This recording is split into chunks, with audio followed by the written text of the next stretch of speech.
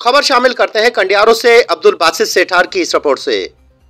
कंडियारों के करीब कौमी शारा पर सेवन कलंदर लाल शहबाज रहमतुल्ला अले के उर्स मुबारक से वापस मुल्तान जाने वाले जायरीन की कोच उलट गई, जिसके नतीजे में 12 से जायद जायरीन जख्मी हो गए। जख्मियों को हसवा और ईदी रेस्क्यू टीम के ज़रिए कंडियारो सिविल अस्पताल मुंतकिल किया गया। अस्पताल लाए गए जख्मियों में। रब नवाज़, मोहम्मद जईम, मोहम्मद वसीम, मोहम्मद एजाज और मोहम्मद आमिर समेत दीगर शामिल हैं। एक बार फिर आपको बताते चलें, कंडियारों के करीब कौमी शाहरा पर सेवन लाल शहबाज रहमतुल्ला अले के उर्स मुबारक से वापस मुल्तान जाने वाले जायरीन की कोच उलट गई, जिसके नतीजे में बारह से जायद जायरीन जख्मी हो गए।